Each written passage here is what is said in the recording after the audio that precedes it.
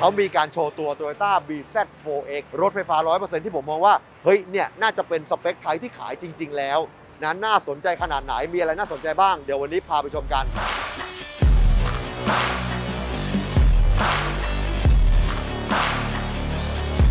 เขาเรียกว่า3 eye แบบนี้นะคล้ายๆ Lexus ไหม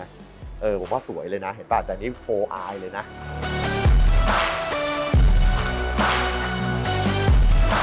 ลุ้นกันมาเยอะว่าเวอร์ชั่นไทยจะเป็นยังไงนะครับ แต่นี่การันตีได้เลยว่าจอเต็มมานะโคกีพีการันตีนะฮะขายในไทยจอใหญ่แน่นอนอยู่แล้ว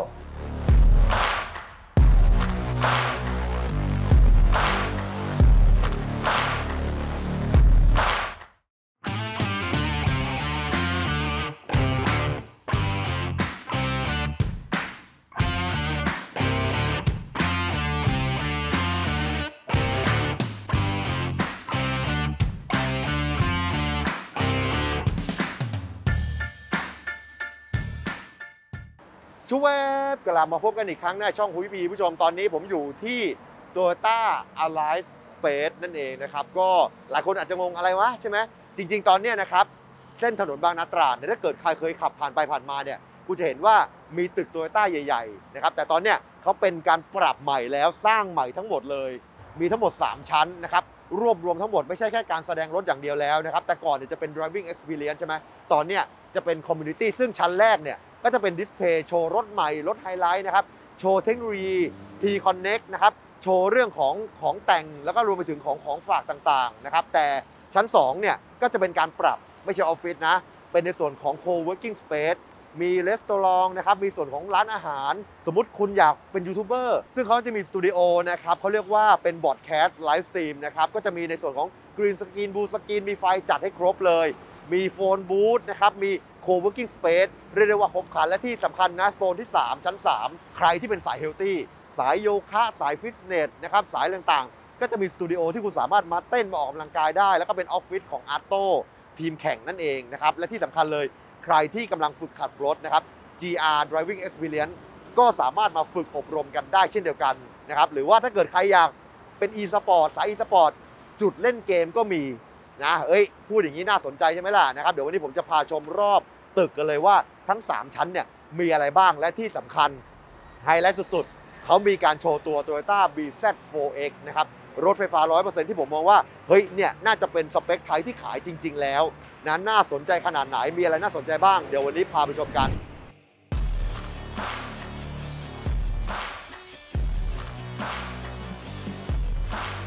และนี่คุณผู้ชมนี่เป็นไฮไลท์นะครับหลังจากที่ t o y ต้านะเปิดตัว Alive Space นะครับก็เป็นรถยนต์ไฟฟ้านะเป็นคอนเซ็ปที่คาดว่าน่าจะเป็นสเปคไทยที่จะขายจริง ๆ แล้วนะครับหลายๆคนเนี่ยที่ไปดูที่งานมอเตอร์โชว์มาเนี่ยหลายคนบอกเฮ้ยมันยังไม่ใช่สเปคไทยใช่ไหมมันยังไม่ได้เป็นพวงมาลัยขวา แต่ตอนนี้คันที่มาโชว์เนี่ยผมคาดว่าน่าจะเกือบ 100%แล้วสำหรับ Toyota BZ4X รถไฟฟ้าล้วน100%ที่มาสไตล์แบบ crossover แบบนี้นะความน่าสนใจของเวอร์ชันไทยนะครับ คือเป็นรุ่นขับเคลื่อน4ล้อเรียบร้อยแล้ว แล้วก็รถคันนี้นะสเปคการวิ่งต่อการชาร์จไฟเต็ม 100%เนี่ยนะครับอยู่ที่ประมาณ 400-500ถึง500 กิโลเมตรเลย เรียกได้ว่าน่าสนใจมากๆนะครับซึ่งรอบคันจะเป็นอย่างไรบ้าง เรามาดูกันดีกว่า ในส่วนของดีไซน์ผู้ชม หลายคนอาจจะงงว่า Toyota BZ4X เนี่ยอยู่ใน segment ไหน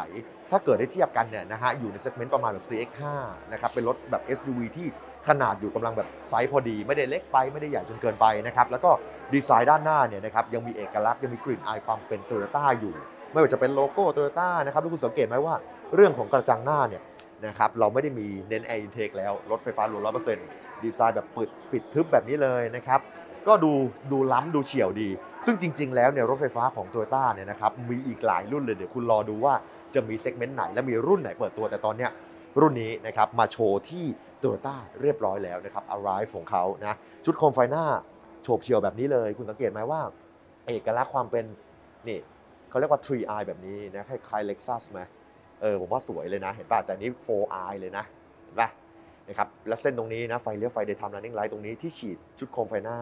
เรื่องของหลัก aerodynamic จำเป็นมากๆสำหรับรถไฟฟ้าร้วนนะครับด้านข้างตรงนี้เป็นช่องที่เขาเจาะจริงด้วยเวลาคุณวิ่งเร็วๆเนี่ย นะครับลมก็จะโฟล์เข้าแล้วมันก็จะออกไปเป็นม่านกันตัวล้อนะครับเวลาล้อปั่นเนี่ยนะฮะมันจะช่วยเรื่องหลัก aerodynamic ทำให้ range การวิ่งเนี่ยเยอะขึ้นนะฮะเอกลักษณ์ตรงนี้นี่เป็นพลาสติกสีดำด้านขนาดใหญ่นะครับซึ่งก็เป็นดีเทลที่เขาเรียกว่าอะพอมองคุณก็รู้เลยว่าเป็นรถยนต์ในกลุ่มโตโยต้านะครับเป็นแบบนี้ตัวล้อคุณมาดูกันเฮ้ยผมว่าล้อสวยนะครับสำหรับ Toyota BZ4X คันนี้นะครับล้อที่เขาดีไซน์มาเนี่ยเออมันไม่ได้มีความเป็นรถไฟฟ้าแบบร้อยเปอร์เซ็นต์นะเพราะว่า คุณสังคุณสังเกตไหมว่ารถไฟฟ้าร้อยเปอร์เซ็นต์หลายๆรุ่น ตัวล้อจะตันจะทึบใช่ไหมอันเนี้ยล้อสวยเป็นทูโทน Diamond Cut แบบนี้เลยนะครับซึ่งสเปคเขา 23550 R20 คาลิเปอร์เบรกเป็นสีน้ำเงินแบบนี้นะครับดิสเบรกมีมาครบ การเก็บงานเนียนและนี่ ไม่ได้เขียนว่าไฮบริดแล้วนะ electric เลย แต่โลโก้ตรงนี้เห็นเป็นไงคุ้นๆไหมนะครับโลโก้เดียวกันกับไฮบริดของเขานะครับตัวถังจะเป็นสี two-tone แบบนี้นะเป็นสีดำเงานะครับฝาครอบกระจกมองข้างมีกล้องมองรอบคัน แล้วก็นี่เอกลักษณ์อีกอย่างหนึ่งของรถ crossover นี่เป็นสีดำแบบนี้เวลาลุยๆใช่ไหมเลอะอย่างเงี้ยมันจะได้เช็ดง่ายๆนะครับมือจับเปิดประตู keyless นะครับแล้วก็ขอบคิ้วต่างๆ เป็นโครเมียมแบบนี้เสาอากาศ shark fin สีดำนะครับคุณสังเกตว่าตั้งแต่เสา A มาจรดด้านท้ายนะครับเป็น gloss black ทั้งหมดตัดกับตัวรถ เอกลักษณ์อีกอย่างหนึ่งของ BZ4X ผมว่าเนี่ยเห็นแล้วรู้เลยว่าเป็นรถคันนี้คือ detail ด้านหลังทั้งหมดนะครับไม่ว่าจะเป็นเรื่องของชุดโคมไฟท้าย LED light guide นี่คุณสังเกตดู ตั้งแต่ขอบตรงนี้ เวลาคุณเปิดไฟหน้านะครับ มันจะลากยาวแบบนี้เลย ต้องบอกว่ารถสมัยนี้นะครับ เรื่องของ LED light guide เนี่ยจะเป็นแบบยาวๆแบบนี้ทั้งหมดนะครับ ตรงนี้จะมีสปอยเลอร์เล็กเป็นสีดำนะฮะแล้วที่ผมชอบไปอย่างหนึ่งตัวสปอยเลอร์ด้านบนเห็นปะมันดีไซน์เป็นแบบสองข้างอย่างเงี้ยซึ่งเวลามันขับมาเร็วๆอย่างเงี้ยนะฮะมันก็จะมีลมโต้มา ซึ่งมันไม่ได้ช่วยเยอะมากหรอก แต่คือเน้นดีไซน์ที่มันสวยมากกว่า ถูกต้องปะคือถ้าเกิดไม่ได้วิ่งเกินแบบ 150 160 มันไม่ค่อยเห็นผลเท่าไหร่นะครับ โอเค ด้านท้ายต่อคุณผู้ชมนี่โลโก้ BZ4X รถไฟฟ้าล้วน100%ที่น่าสนใจและกำลังจับตามองเป็นอย่างมากนะครับโลโก้โตโยต้ากล้องมองด้านหลังนะครับฝาท้ายอยู่ตรงนี้แต่วันนี้เขายังไม่เปิดให้ดูนะเขายังไม่ได้เปิดนะครับคือเอารถมาโชว์ ซึ่งถ้าเกิดใครอยากดูเนี่ยมาดูกันได้นะครับที่ Toyota Alive นะครับบนถนนบางนาตราดแห่งนี้นะครับด้านล่างกันชนด้านล่างตรงนี้เนี่ยพลาสติกสีดำทั้งหมดนะครับเป็นด้านๆเลยแล้วก็ดีไซน์แบบโฉบเฉี่ยวแบบนี้มีเซ็นเซอร์ด้านหลัง และรุ่นนี้ขับเคลื่อน 4 ล้อเรียบร้อยนะครับ BZ4X เนี่ยมีขับเคลื่อน 2 ล้อกับ 4 ล้อ ซึ่งคาดการณ์ว่าการเปิดตัวในไทยเนี่ยจะเป็นรุ่นขับเคลื่อน 4 ล้อ น่าจะเกือบ100%แล้ว อันนี้นะ ทีนี้เรามาแอบดูข้างในกันนิดนึงดีกว่าคุณผู้ชมตามผมมา ต้องบอกก่อนว่าวันนี้เขายังไม่ได้เปิดรถให้ถ่ายนะครับ แต่เดี๋ยวผมพูดเดี๋ยวผมเล่าให้ฟังนะคุณผู้ชม ในส่วนของภายในหลายคนนะฮะคือเขาเรียกว่าอะไรอะลุ้นกันมาเยอะว่าเวอร์ชั่นไทยจะเป็นยังไงนะครับ แต่ นี่การันตีได้เลยว่าจอเต็มมานะโคกีพีการันตีนะฮะขายในไทยจอใหญ่แน่นอนอยู่แล้ว ในส่วนของแบตเตอรี่นะครับ Toyota BZ4X เนี่ยนะครับทั้งรุ่นขับ 2 และขับ 4 เนี่ย 71.4 กิโลวัตต์ hours นะครับถ้าเกิดคุณชาร์จแบบอ่า AC รองรับถึง 6.6 กิโลวัตต์เนี่ยการชาร์จ0ถึง100%เนี่ยใช้ระยะเวลาประมาณ 10 ชั่วโมง แต่ถ้าเกิดเป็น DC ชาร์จนะครับชาร์จแบบกระแสตรงเลยเนี่ยนะครับคุณสามารถชาร์จ0%ถึง 80%ได้ภายใน 30 นาทีเท่านั้นนี่คือจุดชาร์จนี่ เป็นแบบนี้เลยนี่นะครับ การันตีนะฮะ DC เร็วแน่นอน แล้วคุณคิดดูว่าถ้าเกิดชาร์จแบบ 80%เนี่ยผมตีไปเลยว่าวิ่งได้ประมาณ 300 กิโลอยู่แล้วเพราะคันเนี้ยถ้าเป็นรุ่นขับ 4 เนี่ย เฉลี่ยการวิ่งต่อการชาร์จ 1 ครั้งเนี่ย น่าจะเฉลี่ยประมาณ 4-500 โลเลย วิ่งจริงอาจจะแบบ 300 กว่าหรืออะไรเงี้ย ผมก็ถือว่าน่าสนใจมากนะครับ ทีนี้เดี๋ยวไปดูเรื่องของรอบคันกันต่อว่าเป็นไงไปครับสำหรับ Toyota BZ4X คันเนี้ยอย่างที่ผมบอกไปว่าเขามีทั้งรุ่นขับเคลื่อน2ล้อแล้วก็ 4 ล้อ นะครับโดยรุ่นขับเคลื่อน4ล้อเนี่ยเดี๋ยวผมขออนุญาตเปิดสเปคนะนี่นิดนึงนิดนึงนะครับในส่วนของรุ่นขับเคลื่อน2ล้อเนี่ยนะครับสเปคที่เขาเคลมไว้คือวิ่งได้ระยะทาง 500 กิโลเมตรนะครับต่อการชาร์จ 1 ครั้ง มอเตอร์ 1 ตัว 204 แรงม้าแรงบิด 265 นิวตันเมตรนะครับขับเคลื่อนล้อคู่หน้า แล้วก็แบตเตอรี่ขนาด 71.4 กิโลวัตต์ hours นะครับ0ถึง100เนี่ยประมาณ 8.4 วิและ top speed เนี่ยทั้งรุ่นขับ 2 ขับ 4 เนี่ย 160 กิโลเมตรต่อชั่วโมงเท่ากันนะครับส่วนรุ่นขับเคลื่อน 4 ล้อเนี่ยนะครับเป็นมอเตอร์ 2 ตัว ขับเคลื่อน4ล้อ 218 แรงม้านะครับ แรงบิด 336 นิวตันเมตรนะครับ หลักๆประมาณนี้นะเดี๋ยวคราวนี้เราไปดูเรื่องของภายในของ Toyota Arrive แห่งนี้กันต่อดีกว่าว่ามีความน่าสนใจอย่างไร เพราะว่านอกจากมี BZ4X แล้วเขามีรุ่นที่เป็นรุ่นฉลองครบรอบ 60 ปีมาโชว์เช่นเดียวกันนะครับ ไปดูต่อครับ หลังจากที่เรานะฮะดูรีวิว Toyota BZ4X ไปแล้วนะครับ ภายในตึก นะที่เขาเปิดใหม่เลยนี่นะฮะ Toyota Alive Space นะครับก็เขาเรียกว่ามีการปรับเป็นการสร้างตึกใหม่มีทั้งหมด 3 ชั้นนะครับชั้นแรกเนี่ยจะเป็นในส่วนของพวกดิสเพย์รถใหม่นั่นเอง และที่สำคัญพอเปิดตึกใหม่ ร่วมฉลองครบรอบ 60 ปีของ Toyota พอดีนะครับก็มีรถยนต์รุ่นพิเศษนะครับไม่ว่าจะเป็นนี่อย่างสวยเลย Toyota Camry นะครับเป็นตัวฉลองครบรอบ 60 ปี มีอะไรแตกต่างจากรุ่นปกติบ้าง การตกแต่งดีไซน์นะครับรอบคันเลยไม่ว่าจะเป็นเรื่องของการทำโทนแบบ two-tone ตัวล้อสีดำด้านนะครับ แล้วก็ฝาครอบกระจกมองข้างสีดำอะไรต่างๆดูดูเขาเรียกว่าดูสปอร์ตดูมีความเป็น limited มากขึ้น เท่านั้นยังไม่พอนะครับมีรุ่นอื่นๆ เช่นนี่ Toyota Fortuner Legender นะครับก็เป็นสีเทานมนะแต่นี้เป็นการติดติดสติ๊กเกอร์ wrap นะแล้วก็จะมีในส่วนของการปรับสีล้อเช่นเดียวกัน คือถ้าเป็นรุ่นฉลองครบรอบ 60 ปีเนี่ยจะเป็นล้อดำด้านทั้งหมดเลยนะแคมรี่เจ็ดใช่ไหมมาดูนี่ต่อคุณผู้ชม นี่นะฮะแล้วก็ที่สำคัญ Toyota Hilux Revo Rocco นะครับเป็นรุ่นฉลองครบรอบ 60 ปีเช่นเดียวกัน ล้อดำด้านสติกเกอร์เหมือนเดิมนะครับ แล้วก็ badge 60 ปี นี่โลโก้สีดำเงาเรืองต่าง แต่ผมชอบแคมรี่จริงๆ คุณดูดิ ด้านข้างเห็นปะพอเขามีสีดำแบบนี้ มีแบตแบบนี้ มีล้อดำโคตรสวยเลยนะครับ เท่านั้นยังไม่พอนะครับ Toyota Corolla Cross รุ่นฉลองครบรอบ 60 ปี ทูโทนปกติอยู่แล้วนะ แล้วก็นี่การตกแต่งของเขา พอเป็นรุ่นฉลองครบรอบ 60 ปีเนี่ยนะครับ พอเป็นล้อดำด้านเนี่ย เอ้ยมันดูโดดเด่นมากขึ้นโดยเฉพาะตัวถังที่เป็นสีขาวแบบนี้ มันตัดกันมากขึ้นจริงๆนะครับที่สำคัญเลยคือแบต60 ปี ผมผมเชื่อว่า display ตรงเนี้ยจะเป็นการเวียนนะครับเวียนรถใหม่ที่น่าสนใจณตอนนั้นของทางโตโยต้าคือพอคุณขับรถผ่านนะเส้นบางนาตราดตรงเนี้ยคุณจะเห็นเลยว่ารถเขาโชว์มีอะไรบ้าง จุดตรงเนี้ย work โดยรายละเอียดของรถยนต์นะครับ Toyota รุ่นฉลองครบรอบ 60 ปีนะ Special Collection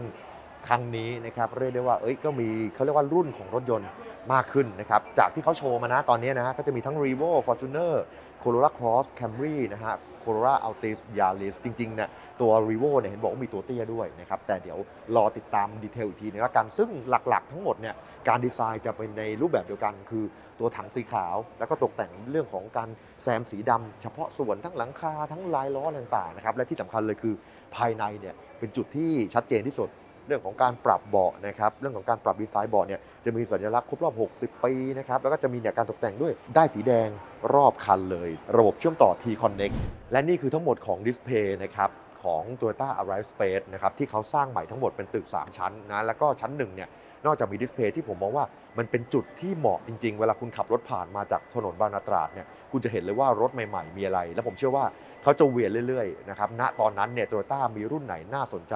เขาก็จะมามาโชว์ตรงนี้ และเท่านั้นยังไม่พอคุณผู้ชม เพราะว่าเขาเปิดตึกใหม่ไม่ได้มีแค่นี้อยู่แล้วนะครับมีในส่วนของดิสเพย์อื่นๆ เยอะแยะมากมายนะครับในส่วนของอ่า e-sport ก็มีฝั่งนู้นนะครับตรงนี้จะเป็นในส่วนของการดูว่าสีตัวรถเป็นยังไงนะครับสีของเบาะนะครับสีของอตัวถังรถ นะมาลองดูกันว่าเฮ้ยรถคันนี้พอใส่สีเนี่ยเป็นยังไงบ้าง แล้วก็จอตรงกลางนี่ตอนนี้กำลังเปิดตึกกันอยู่เลยนะเดี๋ยวเราไปไล่เรียงกันดีกว่าว่าชั้น 1 มีอะไรบ้าง แล้วเดี๋ยวผมจะพาชมชั้น 2 ชั้น3กันต่อนะครับไปดูนะครับ ตั้งใจสุดๆเลยในส่วนของด้านหน้าตรงนี้คุณผู้ชม งานที่เขาโชว์ครั้งนี้มีตัว GR มาโชว์ด้วยนี่ ขวัญใจนะสายซิ่งหลาย ๆ คนเลย A90 แต่เป็นตัวแต่งพิเศษนะเป็นของ a r t o นะฮะก็เป็นรถแข่งนั่นเอง แล้วก็รถยนต์คันนี้ที่เพิ่งรีวิวไปเมื่อกี้นะครับส่วนด้านซ้ายก็จะเป็นในส่วนของสตูดิโอเป็นส่วนที่แบบว่ามานั่งพูดคุยนะครับเป็นจุดที่แบบว่า meeting room มากกว่านะครับแล้วก็ด้านซ้ายของผมนี่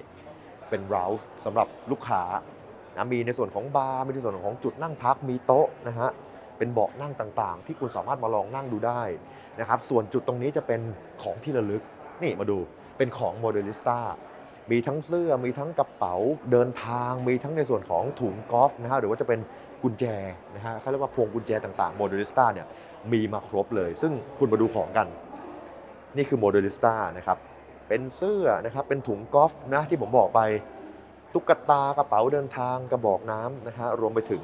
ในส่วนของ GR จะอยู่อีกฝั่งหนึ่งนี่เฮ้ยกระเป๋า GR โคตรสวยเลยอะ อยากได้อะ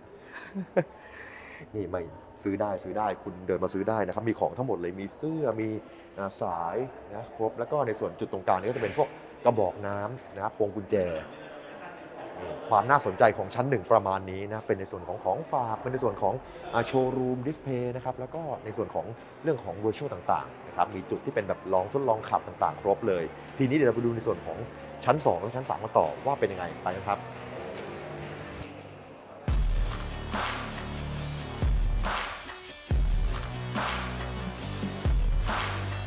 และสำหรับชั้น 2 ผู้ชมนะครับสำหรับ Toyota ALIVE Space แห่งนี้นะครับเรียกได้ว่าปรับเปลี่ยนใหม่ทั้งหมดเลยนะครับเฮ้ยดูดีนะเขาเรียกว่าชั้น2เนี่ยจะเน้นความเป็นไลฟ์สไตล์มากขึ้นนะครับเริ่มแรกเลยพอขึ้นบันไดฝั่งนี้ขึ้นมานะครับจะเป็นจุดที่เป็น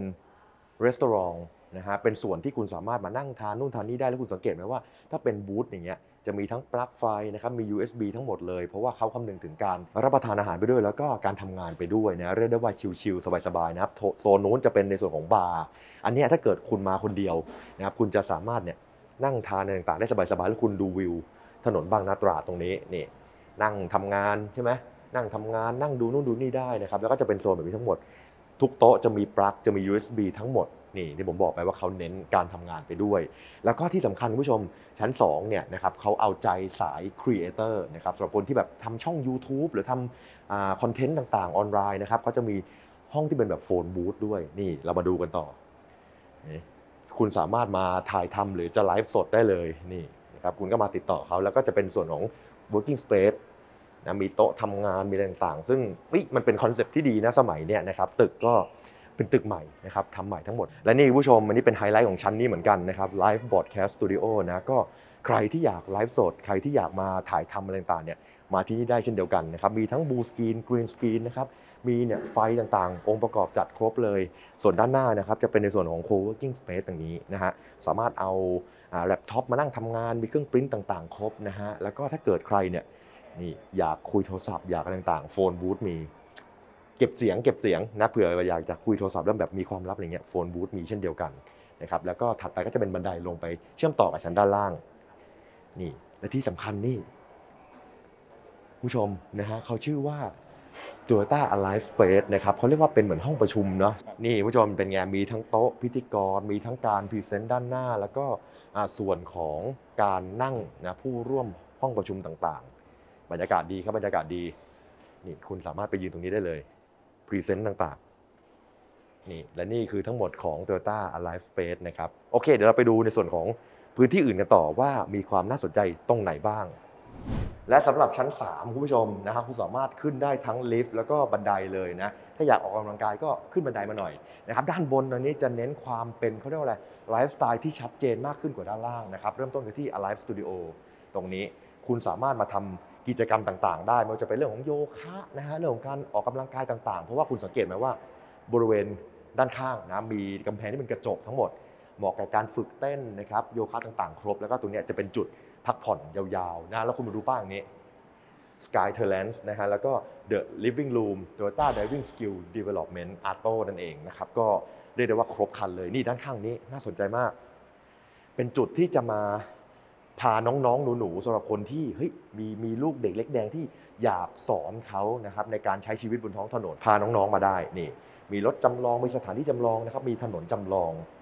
นะคุณแม่อาจจะมาเต้นแอโรบิกมาโยคะนะครับลูกคุณลูกคุณพ่อนี่ก็จะอาจจะพามาอยู่ในส่วนของ diving skill ตรงนี้ก็ได้นี่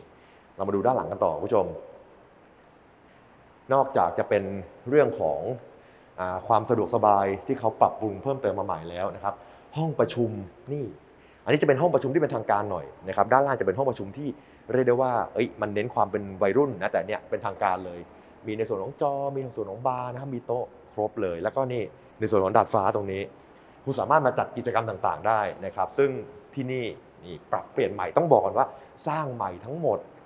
เนี่ยอาจจะมาจัดกิจกรรมอะไรก็ตามนะครับในอนาคตเนี่ยในส่วนที่แบบว่าอยากได้ความเป็น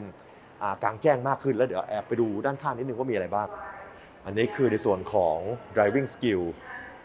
นี่ก็จะเป็นการเทรนนะครับ มีในส่วนของตัวเครื่องนะฮะ เครื่องที่เป็นจำลองการขับขี่รถนะฮะ แล้วก็ด้านหลังเนี่ยเป็นการเทรน นี่เรียกได้ว่าครบเลยนะเดี๋ยวจะพาไปลองดูแล้วกันถ้าเกิดมีโอกาสเดี๋ยวเราจะมาลองอบรมกันให้ดูว่าเป็นอย่างไร ในส่วนของด้านหลังนะครับพื้นที่ด้านหลังเนี่ยถ้าเกิดใครเคยมา driving experience เนี่ย เป็นพื้นที่เดิมนะครับแต่เขาปรับในส่วนของลายใหม่นะซึ่งถ้าเกิดใครเนี่ยอยากลองขับ Toyota ไม่ว่าจะเป็นรุ่นไหนลองมาติดต่อดูได้นะครับคุณจะได้รู้ถึงสมรรถนะตัวรถเลย เพราะว่าสถานที่แห่งเนี่ยนะก็ควบคุมโดยครูฝึกนะครับแล้วก็ตัวรถเนี่ยนะคุณจะได้ทดลองทั้งหมดไม่ว่าจะเป็นเรื่องการเปลี่ยนเลนนะครับการคงสถานะตัวรถต่างๆนะครับทั้งในแง่ของพื้นเปียกพื้นแห้งต่างๆ ได้ทดลองทั้งหมดแล้วก็ด้านข้างเหมือนเดิม เป็นการทดสอบพื้นที่ที่เป็นแบบขรุขระคุณจะได้รู้เลยว่ารถคันนี้โตโยต้าเนี่ยช่วงล่างเป็นยังไงตอบโจทย์คุณหรือเปล่านะครับโดยลายของเขาเนี่ยก็จะเป็นอย่างนี้นะชื่อของเขาคือ Toyota Alive Driving Park สังเกตไหมว่าพื้นที่ทั้งหมดนะครับจะมีคำว่า Toyota Alive นี่เขาเป็นแบบ concept ของเขาทั้งหมดนะส่วนตรงนู้นด้านหลังของตึกใหม่สวยเลยเนี่ยคุณลองดู พอตึกใหม่เขาสร้างเห็นป่ะเนี่ยด้านหลังตึกนี่คือตึกจอดรถนะ อย่างสวยเลยนะ ทีนี้เดี๋ยวไปดูกันต่อว่าตึกข้างในเป็นไงไปครับ และอีกจุดหนึ่งผู้ชมนะเป็นส่วนของ T Connect นะฮะของ Toyota นั่นเอง ซึ่งใครที่ใช้รถยนต์ Toyota นะฮะรุ่นใหม่ๆ คุณจะเคยเห็นอยู่แล้วแหละ T Connect นะครับไม่ว่าจะเป็นการเชื่อมต่อรถยนต์กับผู้ใช้นะผู้ใช้รถเนี่ยผ่านสมาร์ทโฟน ผ่านตัวรถต่างๆนะคุณสามารถมาศึกษาข้อมูลการทำงานของ T Connect ได้ทั้งหมดเลยนะฮะเรียกได้ว่าเฮ้ยถ้าเกิดใครยังใช้ไม่เป็น คุณมาลองดูว่าเขาสามารถทำอะไรได้บ้าง เป็นระบบที่น่าสนใจมากๆ แล้วก็เป็นระบบที่เอ้ยหลายคนเนี่ยกำลังศึกษาอยู่นะครับและด้านหลังตรงนี้นะเป็นในส่วนของการ present Toyota Alive Space จอสวยนะ คือเขาเรียกว่าจอเนี่ยนะครับก็เป็นการ present ต่างๆเนี่ยและนี่คือทั้งหมดของตึกชั้นหนึ่งนะครับก็ คุณมาลองดูแล้วกันนะครับว่าตึกแห่งนี้มีความน่าสนใจอย่างไรบ้างนะครับสรุปรวมความเลยนะครับสำหรับ Toyota นะครับ Alive Space แห่งนี้นะครับทั้ง 3 ชั้นเนี่ยผมว่ามันเป็น community ใหม่ที่เกิดขึ้นในย่านถนนบางนาตราดแห่งนี้ ใครที่กำลังสนใจรถยนต์โตโยต้านะครับใครที่กำลังสนใจเรื่องของการขับขี่รถนะครับกำลังศึกษาเรื่อง T Connect กำลังศึกษาเรื่องต่างๆ นานา หรือว่าเฮ้ยอยากจะลองถ่ายทำ YouTube อยากเป็นยูทูบเบอร์นะครับคุณลองมาติดต่อที่ตึกนี้ได้ เพราะว่า ทั้ง 3 ชั้นเนี่ยรองรับทั้งหมด หรือถ้าเกิดใครเป็นสายสุขภาพเฮลตี้นะ ชั้น 3 มีลานโยคะ มีในส่วนของ driving สำหรับน้องๆหนูๆด้วยเฮ้ยน่าสนใจมากๆ เป็นตึกใหม่ที่ผมมองว่ามันรวมเขาเรียกว่ารวมไลฟ์สไตล์ในยุคนี้นะครับเข้าด้วยกันแล้วคุณมาจบที่นี่ได้เลย หรือถ้าเกิดใครกำลังสนใจรถใหม่ของ Toyota นะครับคุณมาดูที่นี่ได้เช่นเดียวกันเพราะว่า BZ4X หรือว่าด้านหน้านะครับที่เป็นโชว์รูมนะฮะเขาเรียกว่า เป็นดิสเพย์รถใหม่ก็มีทั้งหมด และนี่คือทั้งหมดของ Toyota Alive Space นั่นเองนะครับก็มาชมมาเยี่ยมเยือนกันได้ ผมว่าเป็นตึกที่น่าสนใจ ใครที่มาแล้วมาคอมเมนต์พูดคุยกันได้ใต้คลิปนะครับวันนี้ขอตัวลาไปก่อนเจอกันใหม่คลิปหน้า สวัสดีครับ